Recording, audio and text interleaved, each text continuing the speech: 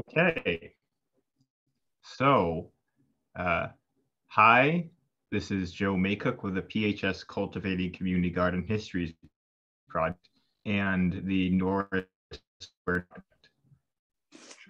It is October 18th, 2021, and I am here on Zoom for a conversation with Peter A. Grove about the history of uh, the Norris Square Neighborhood Project's gardening efforts.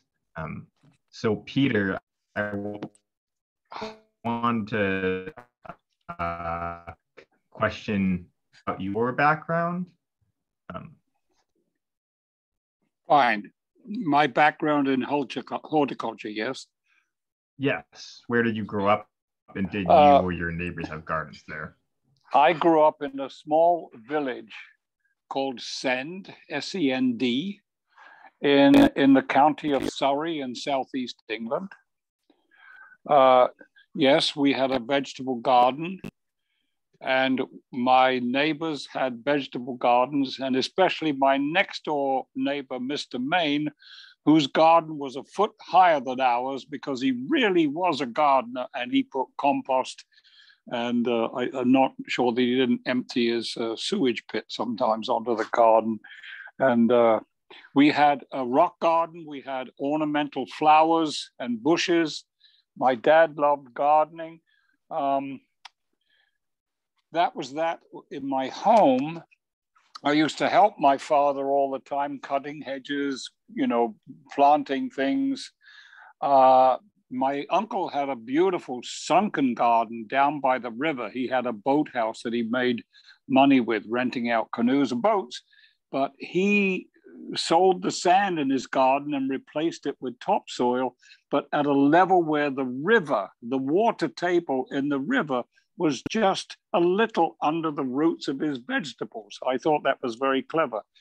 Um, I worked as a young man before leaving school at a little nursery right opposite. I was the right hand person doing everything there and then selling vegetables on the weekend, but I would, you know, plant, dig, propagate, and then when I left school at 15, I left school at 15 and worked on a commercial uh, greenhouse salad crop place with almost six acres of glass. And we grew uh, lettuce, tomatoes, cucumbers, and cress under glass. And I worked there for two years. And that was wonderful. I mean, you you saw some amazing things in those greenhouses, and then I they let me go to a, a local college, a horticultural agricultural place called Merrist Wood Farm Institute, and one day a week, my second year at this salad crop place, they sent me to this place and paid me to uh, learn about horticulture. And then after two years of working with these salad crops, I signed up to become a full time live in student for a year at Merrist Wood. And then there were seven horticultural students and 49 agricultural students, and we became the Magnificent Seven. And uh, I somehow graduated top student out of seven students. Um, and that was a wonderful experience. Then I went on to become a painter, then a roofer, and then I ended up uh, being in landscape gardening. And then I joined the uh, part time army, and then I met a friend who wanted me to cycle around the world with him. So we set off around the world on bicycles, but we only got as far as Athens and then we ran out of money. Oh, I had plenty of money. I still had a hundred dollars. But then we worked on a ship for nine months and paid off in Portland, Maine. We then cycled our bikes up to Montreal, across Canada, down through the Rockies, out across the deserts to Los Angeles, where he met his wife, and that ended his trouble. And then a bit more horticultural experience. I set off once more to go to India this time, but not with the bike, hitchhiking. And so I hitchhiked to India and there were, found a, a volunteer group called Frères des Hommes who was sinking irrigation wells for untouchable people in the uh, very poor people in the state of Bihar. And they took me on because of my horticultural, agricultural experience. And I was the one getting the villages started once the wells were in and the irrigation was running. Very hot, dry area. Is that enough? Uh, th- that was that was really informative. Um, great about your background. I guess um, I am now curious though because you've gone through like three continents in this discussion. Um, if you yes. could then take us from there into how you eventually came back, how you came to Philadelphia. Fine. Um, one day while working in India, I drove my Jeep into the ashram to pick up some rice seed or something like that, or to, to discuss with the Bhoodan leader there the upcoming work. And there was this pretty young lady from America, and she was one of, over the time I was there, she was one of several people that they said, Oh, this person's traveling through. Would you show them the work you are doing with the Bhoodan movement in the 30 villages? We were sinking about 130 wells and I said, Yes. So this young, I arranged to meet this young lady next day, and I drove her down to show her some of the work, and we realized we kind of liked each other. And so she ended up staying in India, but working about a 100 miles from where I was down in Ambikapur, working as a, a teacher nurse aide at a Catholic mission down there. She's not Catholic, but and so uh, that's how she ended up being in India for a year, working there. Then she came to visit me in New Zealand after I'd finished my two year stint in India. and then I came to visit her here in, in Pennsylvania. And we were trying to decide if whether or not we would get married. And while she was working, I volunteered at the Schuylkill Valley Nature Center. And I was a teacher trainee.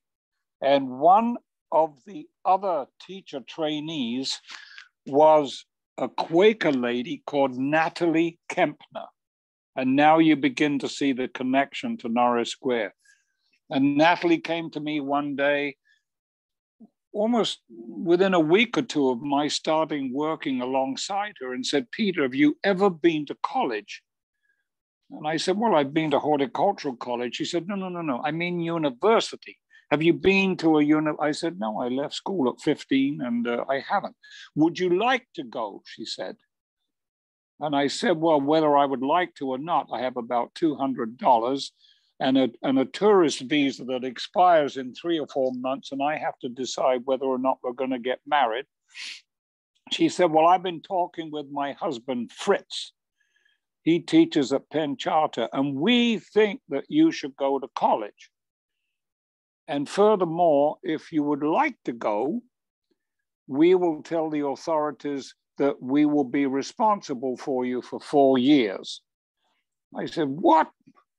She said, We won't, we won't give you a nickel, but we will tell the authorities that we will be responsible for you. We think you should go to college. We think you should get a degree.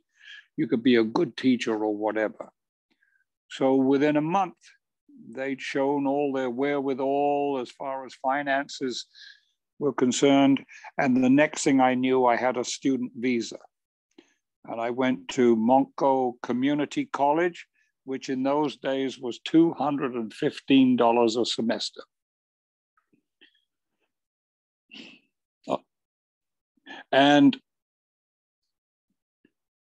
and she said, Well, we have a few jobs you can earn $5 an hour, and our neighbors have some money that you can earn some money on. Are you still there, Joe? Mm-hmm. Yes, I apologize. I muted myself because I don't want to get any getting my voice and uh, my noises in the way. So you switched me off. Good, good. Yes. Uh, good. No. Yeah, keep going. All right. Next question. That's oh, so um, I went to the community college for two years, transferred to Penn. I didn't know that Penn was a special. In fact, I enjoyed the community college that college much more than Penn. But I crewed at Penn and went to Penn for two years, then went on to the grad school of ed and got my MS in elementary uh, elementary science teaching. And then I went to work at a school called Miquon School, and I made gardens at Miquon School with my kids and made bicycle wheel, water wheels in the stream out at Miquon. And then after teaching there three years, my wife and I decided to take all of our savings. I had more than $100 now, and decided that we would take a year and go around the world. So our children had not been born yet. So we took off for a year with a ticket each with 56 flights on it. And we spent 11 months going around but halfway around, I was in New Zealand where my sister had emigrated, and I got a letter from from Natalie saying, Peter, when you come back, would you consider taking over the directorship of the Norris Square Neighborhood Project instead of going back directly into teaching? And I agreed to do that.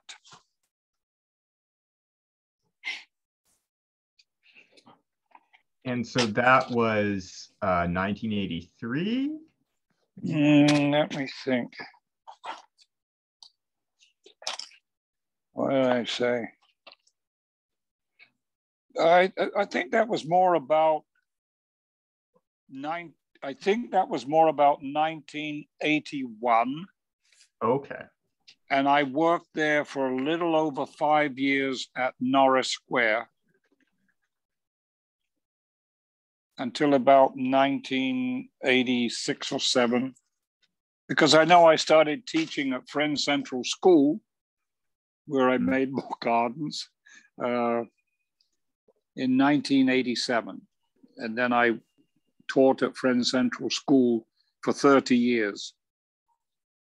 I got trapped because my kids went there for free. they don't pay so well, but there is this thing where if you have up to two children, they will go all the way through from nursery or pre-K up through 12th, get a wonderful education. Friend Central is a wonderful education. And if you're a teacher, it's it's part of your payment, part of your mm-hmm. payment. Okay. Um, and so the well, uh, another I guess another question that probably goes a little bit back in the chronology, but I just wanted to establish that chronological note. Um, kind of, you know, at that moment. Um, in the credits for your piece on um, on Andrea's tree, um, yes, um, right, yes. It notes that you're that you're a, that you're a master gardener. So no, I'm not. You have to oh, be okay. a gardener. Or this this this term, master gardener, is banded around as if it was nothing. I know a lady who took a three week course somewhere, and she now tells everybody she's a master gardener. My granddad was a gardener all of his life, and he would never claim to be a master gardener. But anyway, carry on. Okay, that's all. That's all I wanted to ask about there. Um, thank you for clarifying that. I I mean, I guess uh, I was I was I was just wondering where like, but you've explained fairly well your certification, at least graduating from the horticultural school. Um, yes. So yes, that was good to know. Um, so uh, I want to bring us back to um, 1981 um, and you coming to Norris Square Neighborhood Project as the director. Um, so yes. could you could you talk a little bit about you know the state of the project at that time and what your responsibilities were for it yeah the state of the project at that time was fabulous i cannot claim to be the person that made norris square great between natalie the teachers that were there um, and Sister Carol Keck, who would come over from the from the, the Catholic school to help out.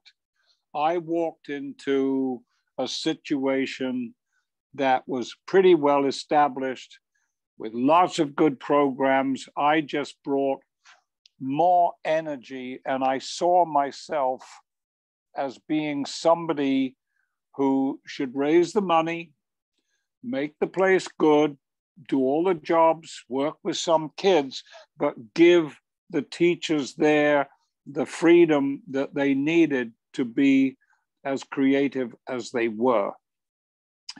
And it was it was a great time. Um, when I walked in the door, I'd heard that they'd been given a grant from the city to do some changes to the building. And what had been proposed was that they would knock out this beautiful bay window that looked over a garden, which at this time wasn't nice, and close the window off and make it a sort of a in-house amphitheater stepping down. And I looked at that and thought, what? That's awful. So I went straight up to the group that was funding it and said, we don't want that. We want to keep that beautiful bay area where the kids sit. Can we instead have a greenhouse? Can we have a greenhouse? And they said, well, who will design it? Well, I had a friend called Bob Thomas who said, I will for free design you an Exolite, very well built solar greenhouse, plus a Trombe wall facing south for the two floors above it. As long as you will build it and not ask me to come down every five minutes to say, how does this work? How does that work? You can call me and Bob Thomas of, of uh, Thomas Campbell and Thomas Architects, South Philadelphia he's an amazing person who just is a walking historian, archivist of trails and transportation in, in, in Pennsylvania and the Cycling Coalition. He drew this plan so that, you know, I could build this. And so Natalie's son and I worked together and built the whole thing. Wait a minute.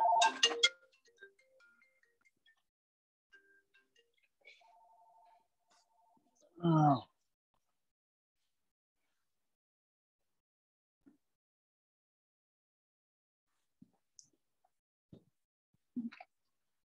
Are you still there? Yes. Okay. Um, okay. So um, Nat, wait, when uh, you say Natalie's son and you still built it, you mean Peter Kent? Peter Kent, right? Who, whom we still meet up with. Um, Mhm. But if you go on a bit, I, I, I could, yeah, as I said, just to make the place nice. You know, my, my job was to make the place nice, paint it. But you could go, uh, it- it'll sound awkward if you switch me back on to record, but I could tell you now, I made the place secure. Um, I put in a fish pond with the kids put flowers, a curving brick path, um, hanging baskets. We filled the greenhouse with plants. Iris was helping. Um, that's as far as the structure. We we made storage in the basement, painted the place from top to bottom, made it nice. I think Natalie knew I was sort of handy as well, you know. My job was also to raise the money, pay the wages. I got a vehicle from the place.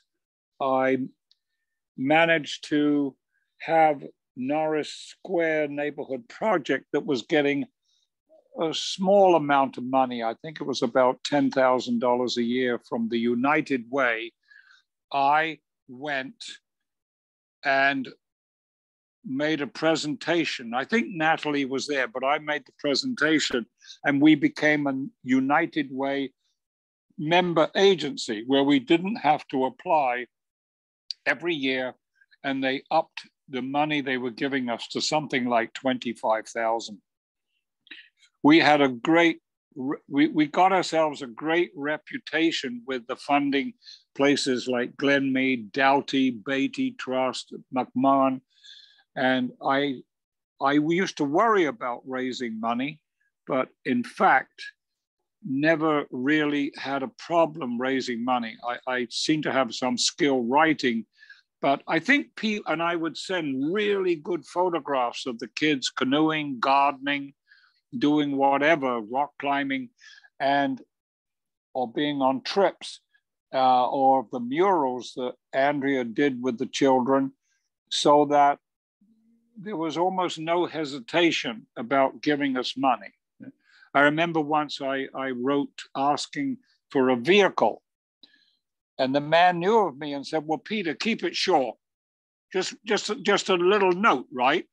And within a week, he called me and said, Yeah, you have a 15 seater van. And uh, if you need a little extra money to paint a logo on it, do that.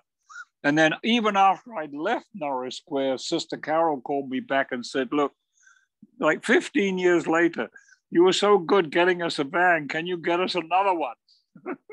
and I did, you know. But, and Sidney Repplier, who worked for the Philadelphia Foundation. What a gracious person he was. Uh, Sidney Repplier would, would love to come down there now and again and just be with the Norris Square neighborhood kids and that. Not often. Uh, he's and he once said this is this is this agency is one of my favorite favorite agencies. I also made a point that when I gave grants, if it was a big one, I wouldn't mail it. I would walk down to the Glenmede office and give it to them, right? So they'd see me. They could see I wasn't too crazy.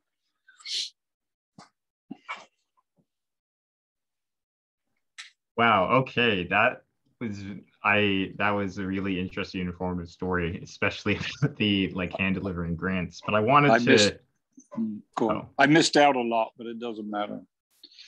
But go on. Well, yeah you got you got enough to get two vans, sure. including yeah, one when you weren't there. Um, but so I wanted to, um, I guess, talk a little bit more though about the spaces that you built, like this, you know, brick pathway, um, this greenhouse, the pond, mm. etc. So, what kind of yearly traditions um, characterize uh, the work to maintain these spaces and the uh, recreation and education that you know the children of the neighborhood project and others benefiting from its services um, you know had in this space all right i think part of it for me was to have the children see that if you roll your sleeves up and do something you will end up with a result and the fact that you did it is going to make that result even more important to you and more meaningful to you. So um, I made gardens with the children at Hunter School, McKinley School, uh, the garden at Norris Square Neighborhood Project. I made two more gardens with the children at the southeast and southwest corners of Norris Square. They are no longer there. We planted trees at Moffett School. Um, I also worked with children outside of the area at Belmont School at 42nd and Brown. We put a garden in there. And then I worked with children to put another garden in at 6th and 5th and Federal, 5th and Federal, or just below Washington Street. And we also took neighborhood children and put a garden in against a low wall on which um, Andrea uh, painted a mural with the children at the Centennial Hall out in West Fairmount Park. And it was a kind of a curious mural, mural showing the staff uh, sitting with the kids around them. You can see, you know, my big bottom and uh, kids, and you can see Efrain's car, Andrea's car, my car, and uh, and all the little kids sitting in a circle. It's rather nice. Uh, later, my wife and I uh, were the prime movers of a 93 plot community garden at 25th and Spruce, the Schuylkill Gardens. We we my wife was the one who got the deed for that, and I was the one that went out with a, some helpers and marked out 93 plots. You know, but but that's not Norris Square. Um, I'm trying to think what else here. You switch. Well, uh, actually, I would, I do want to do a quick se- segue. If you could talk any, like, I think that it might be good, I guess, to interview you again about the um, Schuylkill Gardens, but do you know its current state? Um, just out of, of the Schuylkill Gardens? Yes. Yes. Uh, you switch on again and I'll tell you. Um, I believe I'm still recording. I don't think I've stopped. Oh, okay. All right. The Schuylkill Gardens is flourishing. The interesting thing about the Schuylkill Gardens, we made it and we divvied up the plots 20 by 10, 15 by 10, 10 by 10. People moved in it was the old Kelly brickyard, and it was pretty tough digging for some of it. Uh, but we managed it, and then we discovered that the the city manager, I think his name was Leo Brooks, moved into an apartment right opposite. And when he looked down and saw all the plastic windmills and the flamingos and the watering cans hanging on sticks, he said, "We can't have that." And so we quickly rushed to him into the city and made a presentation. And because he had to look at it, all of a sudden the city found funding somewhere from that Schuylkill development area, you know, with the walkway and the cycle track along the river. All of a sudden, our rickety old fence was taken down and there was a dipping well and a brick entrance way and iron wrought railings and a fine, you know, iron wrought entrance. And that was it. Oh, one thing I wanted to say about the different gardens, I started with the kids at Norris Square. And where Andrea would paint murals behind was that many of them uh, oh, and these gardens only started with help from PHS. I couldn't have done any of them without PHS giving fencing and, and mushroom compost. That many of these little gardens, the kids got awards from PHS. And I would take them down, Andrea Efrain and I would take them down to Penn's Landing. And Herb Clarke, who I think was a, some sort of weather report man at that time on the, on the television, they were presented with $50 checks for their combined efforts on their gardens. And so that was special for the kids to go to Penn's Landing, Port of History, come back and we'd spend 50 bucks on, on ice cream, you know, which was great. That's really good. Yeah.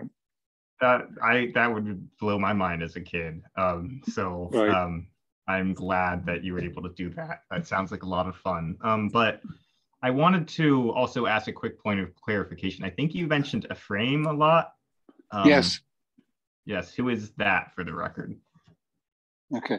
Okay. Uh, uh, the, the teachers I had, uh, Efrain Rios was a young Puerto Rican man who uh, was married and had two children. What was it, Tony and Celie? Silly. And he was a very creative teacher. And he had a lot of humor and he had energy, and the kids loved him. But he really did have a sense of humor. I remember we were coming back from a canoe trip one day, and I'd gone in to get donuts or something for the kids at a diner down in New Jersey. And it's a windy day, and I'm coming back with a tray full of stuff, and all the kids are laughing like crazy. And I said, What's going on there? What's going on? And they said, Efrain. I said, What, what did he say? They said, Well, when Efrain saw you coming across the parking lot, he said, Here he comes, the eagle's nest with one egg in it, you know, because. a bit bored.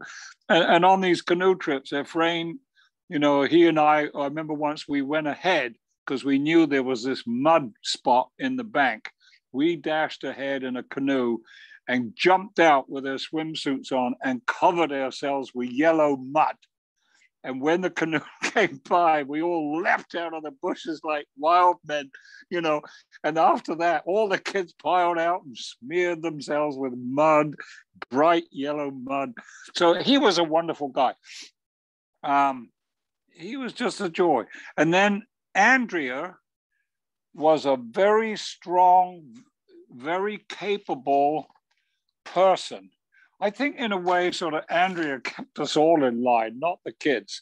But she was an artist, a gifted teacher, um, very hardworking, and a good organizer. But she once described me as being like the Pope. I don't know what that means. I guess she saw me as some sort of a figurehead and was grateful that I was good at raising money and I'm still in touch with Andrea. She's not experiencing the best of health, but boy, was she a fabulous teacher. And she kind of organized what you probably didn't know is that at that time, there were so many prob- uh, pro- uh, programs at Norris Square uh, where local children were involved with schools elsewhere, like Green Street Friends, Penn Charter, Germantown Friends, but also we worked with Moffet, Hunter, and McKinley. Every day we would go and get kids from there. She would, and Ephraim and Iris. They would pick up kids from those schools and bring them to Norris Square for lessons on all kinds of things. I think you need to know that at that time, Norris Square Neighborhood Project was an urban environmental education center. It focused on that.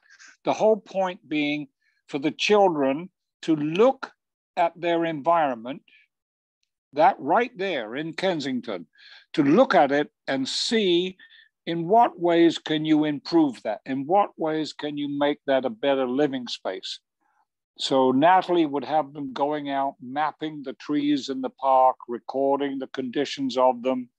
She created in the basement of Miller School before it was torn down. That was a school right now where the retirement home, you know, the Carmen Aponte Center is.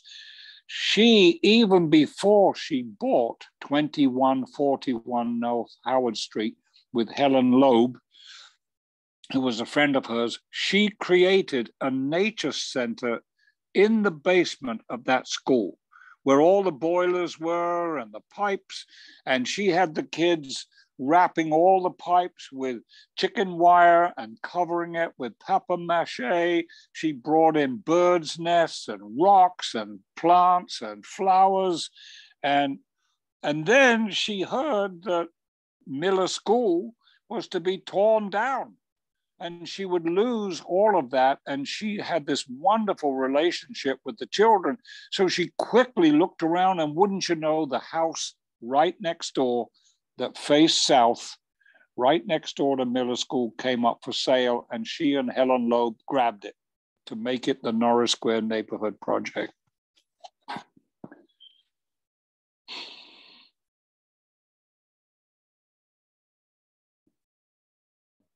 Okay. Yeah, I wanted to, I guess, uh, ask related to that. You would say your experience at the Schuylkill. Um, I think you said it was a Schuylkill Valley. Yes, um, it was called the Schuylkill Valley Nature Center. If you make a note at that time.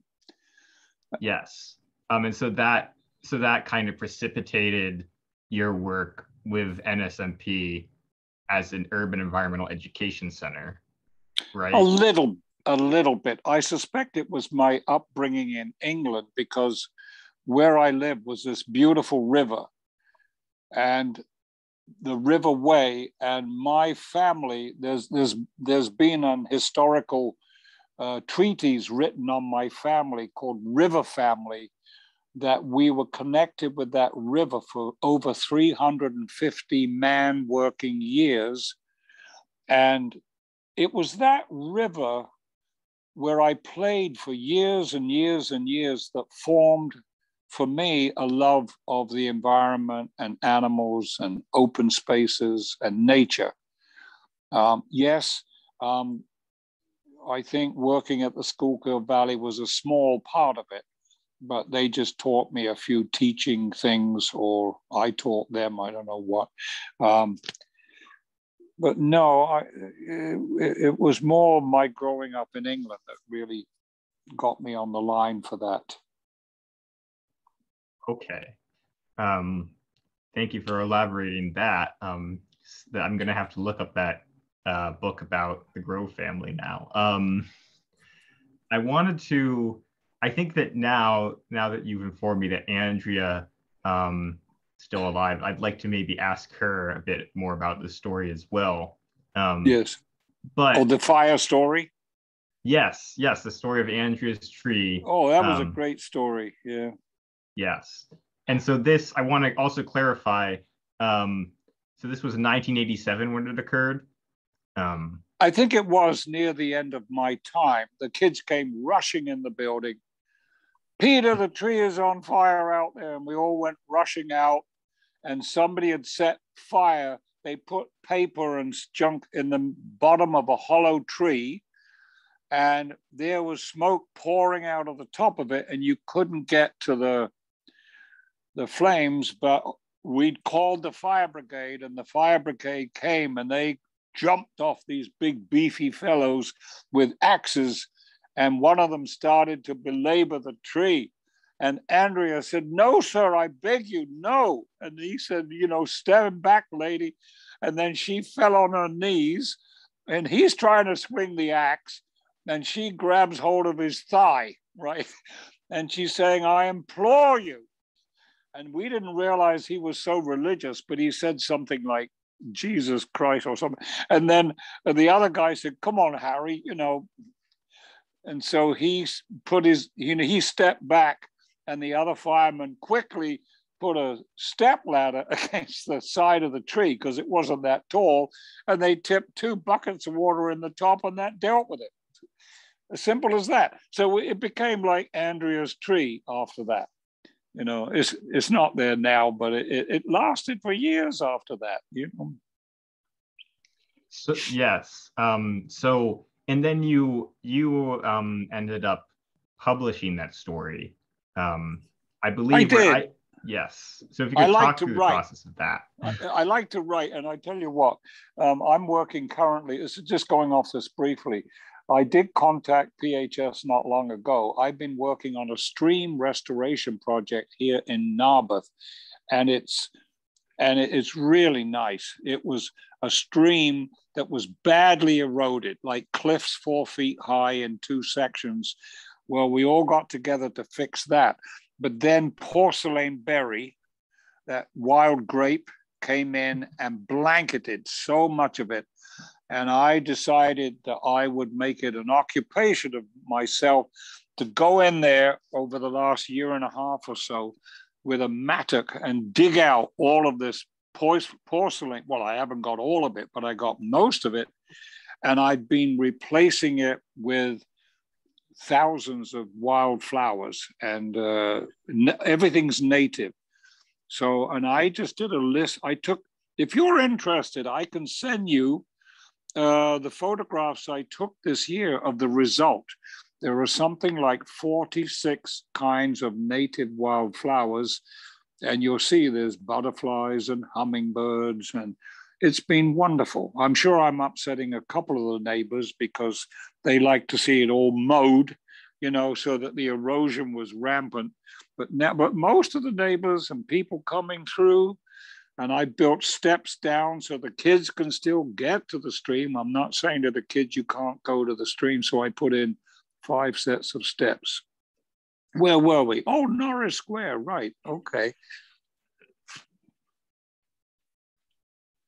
Yeah, I mean, I do. I I would be happy for you to send me anything and everything about that project as well because it sounds very Wonderful. interesting. Yes, I I love I I love native plants, you know. Um, but um, I but I did want to I did want to I guess get into the process of you know publishing the story of you know uh Andrea Andrea's tree. Um, yes. Yes. I don't know how how I got to the forestry magazine or whether Natalie said, That's such a cute story. Why don't you send that story to uh, the National Forestry magazine? So I did, and they grabbed it up straight away, you know.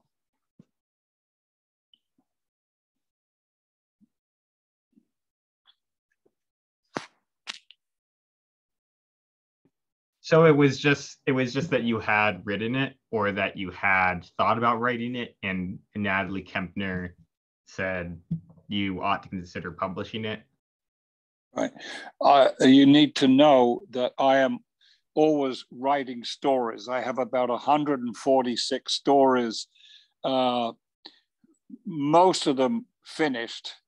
Um, I am a storyteller. That was one of my jobs at at Norris Square was to tell stories. That's how I teach. A, a, a, fair part of my being a science teacher is not hands-on and go out in the woods and build bridges and plant. Oh, you want to know how many gardens I've made at Friend Central? No, but but telling stories. So yeah, I like to write stories. And about 12 years ago, I had what was thought to be possibly a serious terminal illness. And so I thought, wow, I better sit down and write about my wonderful, happy childhood. So I wrote about 1,200 pages about my childhood. And so it was just magical. And, and many of those stories come from there, but I also write all kinds of silly stories and serious stories. And I wrote a play once that got me an award from the Annenberg Theater. This was when I was still a student at Penn. I wrote a 40 page play called Timepiece. I don't think they ever performed it, but I won a hundred dollar prize and I bought the suit I got married in from this uh, story. Um, that, that's very cool as well. Um, so I guess at this point, I want to, I think now that we've talked a bit about Andrea mm. and about, um, and Ephraim, and that really um, helped introduce their roles to me. I wanted to, though, ask you about Iris Brown. Um, yes, good. I was just going to say, but we haven't talked about Iris and mm-hmm. Claudia. Okay. Okay, here we go. Iris Brown, or Iris as I called her all those years, was a wonderful person to work with. She had a friend called Claudia Garant, and the two of them worked very well together. And both of them, but in a way, particularly Iris, had a lovely, soft way with children and had a way about them that the children trusted them, that they were very sincere that they had a good sense of what was right and wrong. And they were most happy surrounded by children, whether they would be doing crafts or whether they would be doing cooking. Um, and Iris loved to garden. She says that I taught her a few things. Mm-mm. She she uh, didn't learn them from me. She was a natural gardener. And uh, if she wasn't a, a, a, gardener, historically speaking, it was in her system to be a loving gardener and with some smarts. So Iris Brown, Claudia Garant, and wouldn't you know who would walk in quite a lot of times was Thomasita Romero, who was this beautiful, gracious lady in the area who was a good friend of, you know, Iris, Iris and uh, Claudia. And between them, there was this wonderful sort of positive force down there at Norris Square with those three ladies. It was very good. And the kids benefited greatly from it.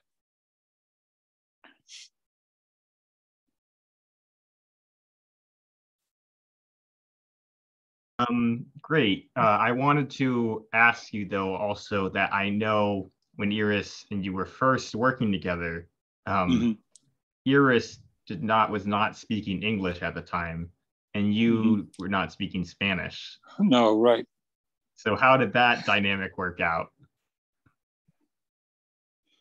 As far as me not speaking Spanish and Iris not speaking English very well, perhaps I just shouted a little louder. I don't know. No, no, no, no. That was that's that was tended to be the way when I was working in India with India and Magyar. No, no, I don't know how we got on. I think she was a lot better at English than I was at Spanish.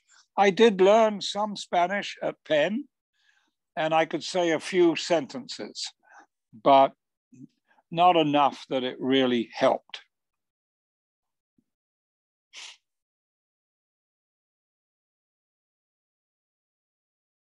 Iris recalled that she would bring tea to you um, often in the garden.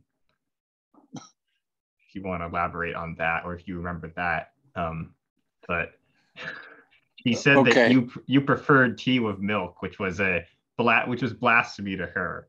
But to tell you the truth, I think people were always making me tea down there, but I don't remember specifically. You you've reminded me of that, but being English, you you need to drink a lot of tea. It, it's it's the fuel, and so that was it. I think I was still learning to drink coffee, but if you if you grow up in England you drink tea, lots of tea. And if you're a workman in England, no matter where you work, the person you're working for will, will bring you tea. And I've noticed here that when a plumber, comes, which is rare, I do all my own work, but whenever somebody comes to do something at the house, I say, Would you like tea or coffee or, or juice? And they look at me like, What? No, I'm okay. I'm okay. It's sort of they're a little uncomfortable with it. But of course, in England, you sit down at least once mid morning for tea. You sit down at lunch for tea, and you sit down mid afternoon for tea. In fact, they used to joke between the tea breaks, do the English people get anything done much? You know, that was it. Good. That's uh, that's a good joke. Um, but um, or at least I I got a kick out of it. So, um, but that's good to know. But so, uh, let let me see. Um, I guess I wanted to. I think you've covered by now. You know all your relationships with the staff at NSNP. Um, yes. Yes. Uh, Ephraim, Iris, um, Andrea, um, Claudia, Claudia, yes, Claudia, um, and your initial like starting a relationship with Natalie Kempner, um, who is also Which was really wonderful. Yeah. Yeah. What a wonderful lady she was. Oh my God. Yeah. Do you want to actually elaborate a bit more on her if you have anything else to say? Well, I I remember later I was so grateful for um for Natalie for giving me time for Nancy and I to make a decision. Otherwise, I would have been under the hammer. And I have to say that at this point in time, um, her parents were very friendly and very nice to me. But later, Nancy told me that her father was a little upset that this young man had come from abroad and was suddenly catching the eye of his daughter that he had higher hopes. And her mother, although her mother denied it only a year ago when we brought it up to her, or two years ago, she was our best friend. Nancy's mother was, Nancy's parents were incredible. They were lovely people. Everybody loved them. But uh, Nancy said that that first few months I was here, her mother went to her and said, Now let me get this straight. This young man seems to have very little money. He has no medical insurance and no degree. And this is the star that you are intending to hitch your wagon to. and, and Nancy said yes. So that was it. But very shortly after that, she and I bought a fixer upper house on 24th and Panama, 24th and Panama Street for $24,000. Our mortgage was $143 a month. And I very quickly became involved with Fitler Square. I was on the Fitler Square Improvement Association for many, many years and helping to get that square to look really nice. And then, of course, later we worked on the Schuylkill Gardens and uh, but that was it. Thank you. Um, so I wanted to move forward now a little bit into the post 1986 um, years when you mm. left your position um, and went to um, the Friends School. Um, so how did your involvement with Norris Square change uh, since you left your position? Uh, and how has the NSNP green space changed since then? I think you've gotten a bit right. at that second question, but. Right. Um, I have to say that my involvement with Norris Square almost as soon as I left became practically non existent. Um, I was aware that Sister Carol had moved back for a while, that Sister Carol was not a gardener, that Sister Carol was more a business type person, that she arranged something with work core for older children I was aware that the focus of Norris Square with Natalie gone, me gone, changed from being environmental to more cultural job training. I think I went back once to take kids fishing. I went back once to do a work, a science workshop. Um, they called me up to get a second vehicle.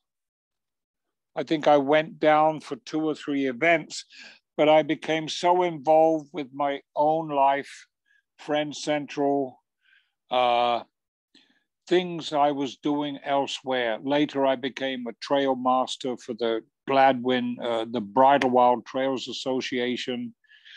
I fixed up that house on Panama Street. We sold that. I then worked to fix up the house where we now live.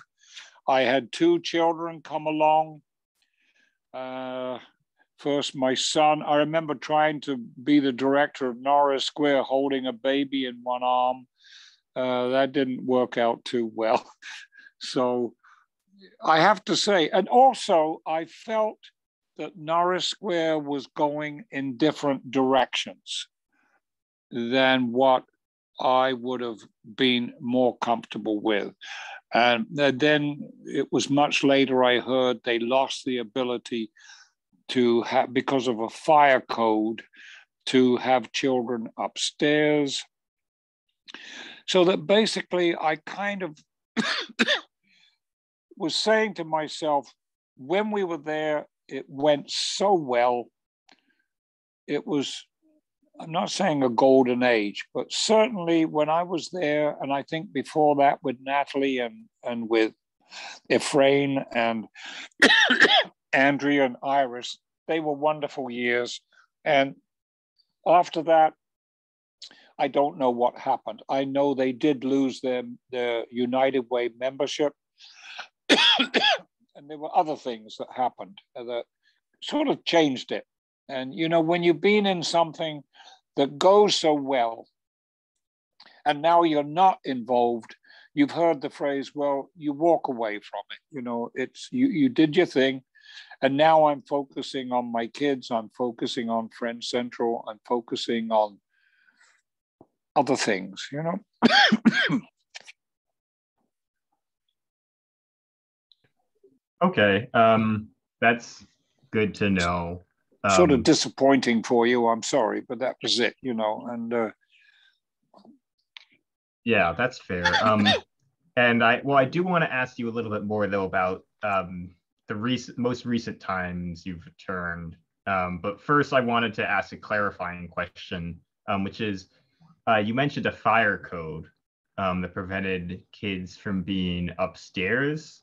Yes. Um, could you explain why? Elaborate on why that would be? Why that was not the direction that you were?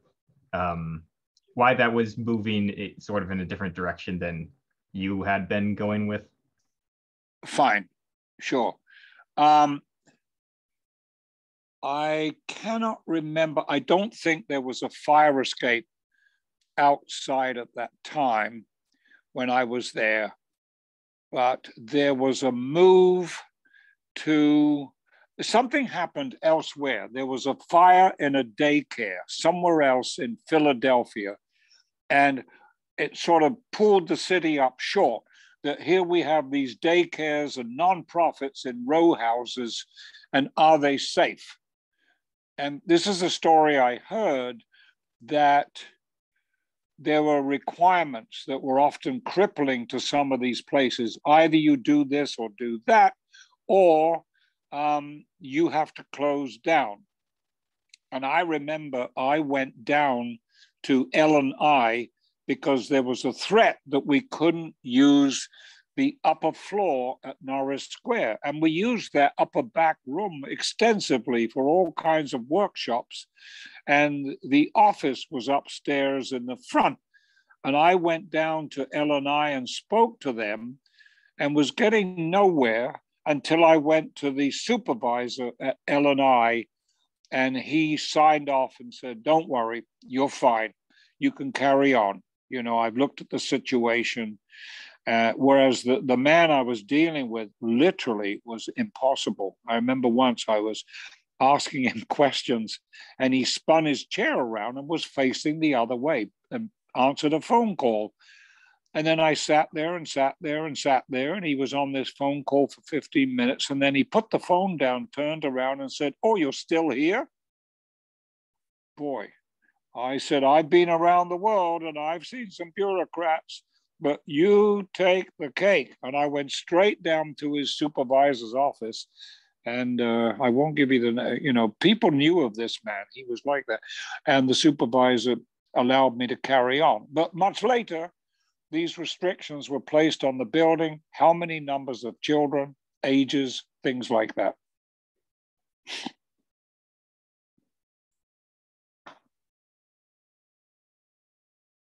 Okay, thank you. Um, that clarified things for me. Um, I wanted to, I guess, close a little bit by asking about your most recent visit to the Norris Square, I believe, um, in February yeah. 2020, um, with uh, Peter Kent and uh, with Iris Brown uh, because mm-hmm. the, you know there's a photo of you with um, some current Norris Square employees, I believe, um, on their website. So I wanted to ask you, you yeah. know, yeah, about your experience then, um, and uh, all right, if you have any thoughts about Norris Square's present or future that you'd like to add based on that. Fine. Well, let's do that first part. Um, uh, when Justin was there, Justin called me a couple of times to say. Just, oh, excuse me. You mean Justin Trezza of yes. Yes. Okay. Thanks. Oh, oh, no. Do I? No, I no. Who was the uh, director before Teresa Elliott? That was Justin Trezza. Yes. Right. Right. Right. Right. Uh, he called up a couple of times, and I met with him he wanted to know how things used to be at Norris Square all those years ago. And I was able to tell him just as I've been telling you.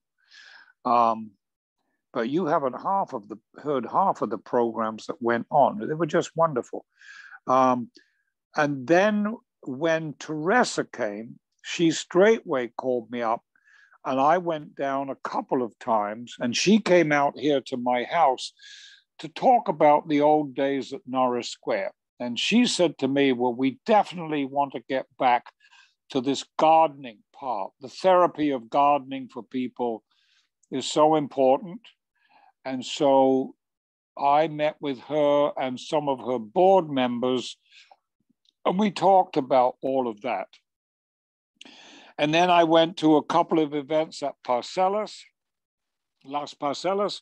I also went down and did some work at Las Parcelas. I did some, I tend to be a little obsess, obsessive about things being orderly and, you know, and, and straight and no junk piles. And come on, what are these weeds doing? Um, but then I started to feel awkward with that. I didn't think that it was my place to go down. Uh, but then I was invited when Valerie, I think she was the secretary, uh, who was a little kid when I was there. There's a picture of Valerie as a little kid in a canoe waving a paddle at me. Or she's in the canoe with me and we're both waving paddles. Uh, Valerie uh, was retiring, I think, and they were honoring Valerie. So I went down there for that uh, and was honored to be included. You know, I'm such an old dinosaur. They shouldn't bring me out for these things. And I've always stayed in touch with Iris Brown. And just before we move on to where I think Norris Square is going, um, I've always been in touch with a handful of the kids that I taught years ago. You know, and uh, so that's been nice, but not many. Uh, but I'm just aware that we gave those kids a wonderful place to go in the summer, a wonderful place to go after school. I didn't tell you we put on plays. Uh, we did, you know, Christmas Carol. I think we did a Rumpelstiltskin or something, and every and our stage was that five foot wide doorway as you go into the main part there. You walk through. That was our proscenium stage, and it, you know, and um, uh, what's his name? Ephraim's little kid was Tiny Tim with a crutch and all this stuff, and you know, and and uh, Ishmael Lazada, who looked like a rich businessman at the age of twelve, was you know Mr. Fezziwig, and it went on and on and on. But um, and we had haunted houses every year, and we discovered the most spooky sound in this haunted house you know, we, we took kids down the basement. Well, of course, you can't take kids down the basement. Now it's a fire hazard. But we would creep around in the basement and we amplified the sound of somebody flushing the toilet upstairs. And we held a microphone against a, we took off a plate from the soil pipe and we recorded the sound of this water going coming down the pipe. like all any silly stuff. Okay, I don't know where where are we going? Oh, and we would take the kids camping to College Settlement Camp every year.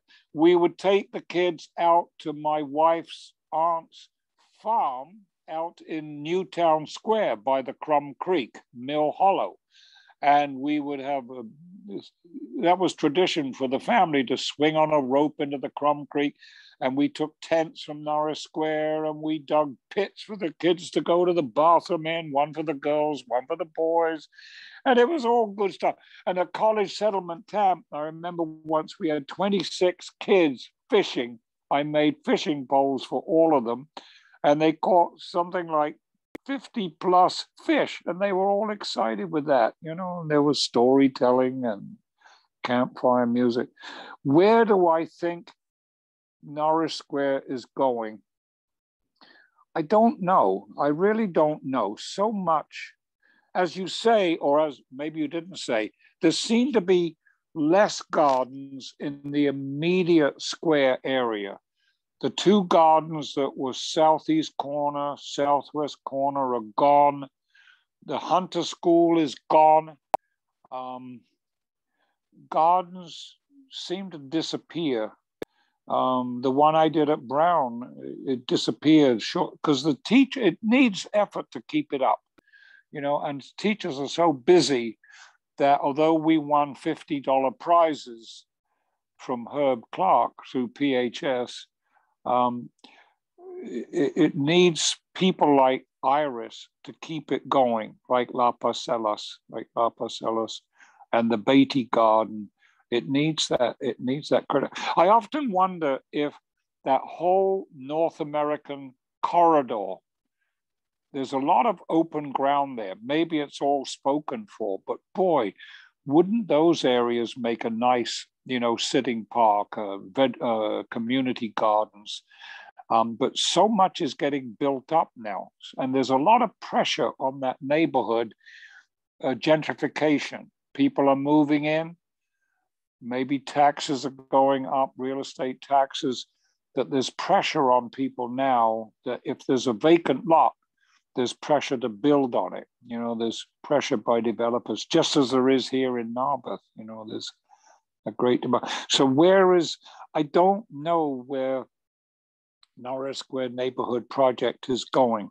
It, it's up to the people who are running it now to look at the signs and decide do we go back to environment? Do we make environment back being not beyond gardening? Do we make that be a component part of what we teach? Or, you know, I, I don't know quite what the future is there. Okay, thank you very much for sharing your time, Peter. Um. That that was some um, those were some great final thoughts, I think, to wrap it up and talk about. You know. Yes, uh, yes, yeah. I'm talk too much. I'm sorry. No, it was great. I've learned so much from you, and I'm going to have to maybe get in touch with you also about the Schuylkill Community Garden. Um, if you'd be happy to talk about that, because we are trying to capture as many garden stories as possible, and as community okay. gardens and as community gardeners would like us to help them capture. Um, so, yeah. and if you be think, if I did contact somebody at PHS, I forget. I spoke to Sally McCabe. Sally mm-hmm. McCabe put me onto this guy. I forget what his name was. I might have it written somewhere. He was responsible for, you know, deciding on article. And he said, well, maybe next summer.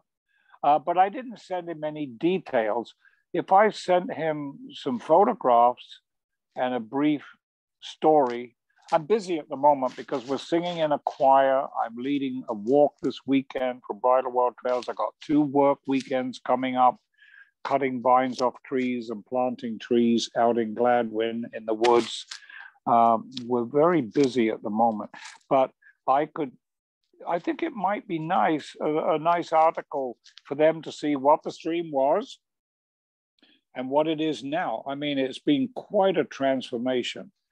Mm-hmm. And as I say, most people, I, I, live in, oh, this is an interesting area too for you being, you know, horticulturalist.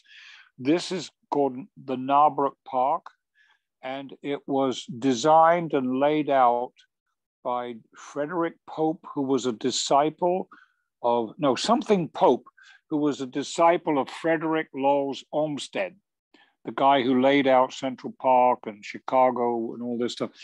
And the idea being instead of giving everybody a, a house with a big garden, put the 33 houses around the edge and have a central area with a stream and trees that everybody shares. And it's delightful. You know, we all have like a fifth of an acre for a garden, very small, but we look out and all the houses are different. We look down the hill. We've just lost a couple of magnificent trees. They were ancient. Uh, but there's the stream. There are other trees. And it's just a wonderful concept. We're not all mowing all day long, you know. The, you know, and we pay for our roads. We pay for the mowing of the central areas. Wow. So that's an, another thing that you might maybe you should come out and just visit, look around. You know. Yeah, I would love to. I would. I really want to visit. You know, all the public green space in the Greater Philadelphia area. Um, right. And Olmsted design is something uh, I am interested in as well. So, um, he but did. I wa- yeah. yeah. Yes. So, um, yeah. But so I wanted to say um, again, thank you so much. I'm going to stop mm. the recording now. Um, sure. Okay.